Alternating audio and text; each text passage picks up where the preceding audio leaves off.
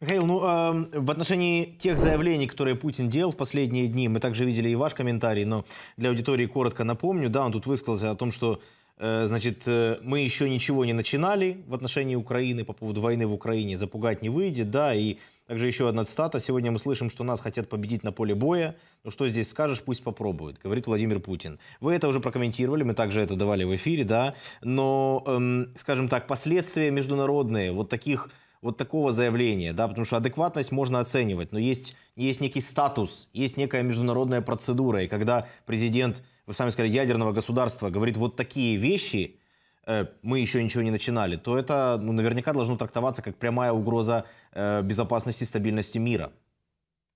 Так, э, безусловно. Более того, он в своей этой странной речи в очередной раз подчеркнул, что нету никакой специальной военной операции.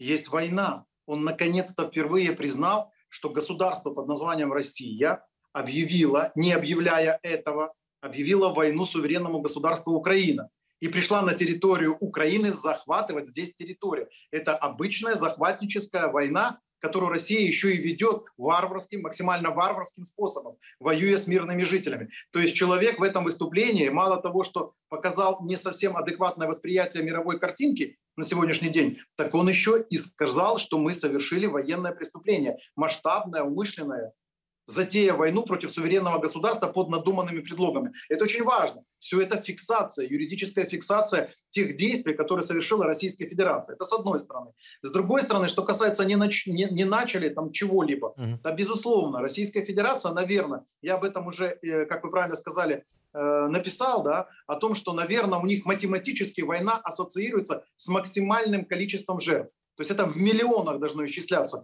Я понимаю, что Россия, она предпочитает либо голодоморы устраивать, либо собственные там лагеря концентрационные устраивать, либо убивать массово людей, в том числе собственных граждан и так далее. И когда вот у них э, число идет на миллионы, граждане все равно не до конца, наверное, понимают, насколько звероподобным является их политический режим. К сожалению, Россия сегодня показывает свое настоящее нутро. Вот смотрите, вот мир должен это понять, и мир это уже понимает. У меня нет ни малейшего сомнения, что в мире все очень точно теперь понимают, что заблуждались, катастрофически заблуждались, когда поверили в 91 году, что Россия пошла по попытке демократического построения собственного общества. Нет, Россия затаилась а сейчас ее нутро, вот это звериный оскал, звериный оскал нацизма, такого классического русского нацизма, он вылез наружу, и они его демонстрируют всему миру. Это хорошо и очень хорошо. Для нас это, конечно, плохо, потому что мы оказались э, во главе э, тех сил, которые должны это остановить, вот этого зверя остановить. Это тяжело, потому что мы платим большую цену. А для мира это хорошо, потому что не будет иллюзий, что с Россией можно подписывать контракты, заключать договора, делать совместные предприятия.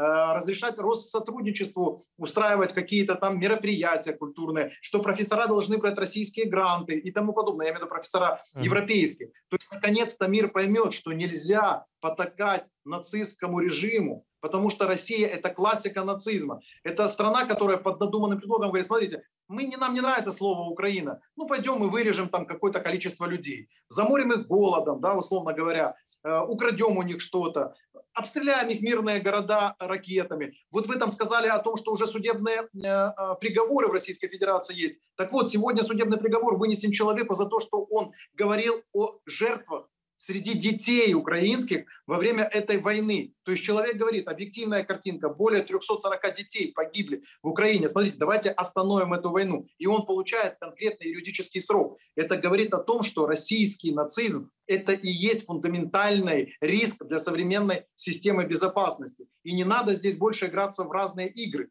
И не надо говорить, что Россия – это какой-то партнер, с которым можно о чем-то договориться. С Россией мы можем договориться только в одном случае. Если Российская Федерация проиграет действительно на полях сражений. Что то, чего Путин, кстати, конкретно опасается. Он понимает, смотрите, он очень четко, интуитивно, верно ощутил для себя ключевой риск. Если Россия проиграет на, во, во время войны, да, а ведь они же милитарное государство, они накручивали своих людей, которые живут в нищете и в разрухе тем, что, смотрите, ну мы же самые крутые, наших Искандеров все боятся, мы всех на колени поставим. Так вот, смотрите, вот этот миф будет разрушен. А что это значит? Это значит, что человек, главный пропагандист этого мифа, господин Путин, проиграет. И значит обрушится его система вертикальной власти. Вот это страшно для него. Конечно, поэтому он говорит, ну пусть попробует у нас проигра... Э, выиграть. А почему? Потому что он будет воевать, я скажу сейчас парадоксальную фразу. Вот кто будет воевать до последнего русского,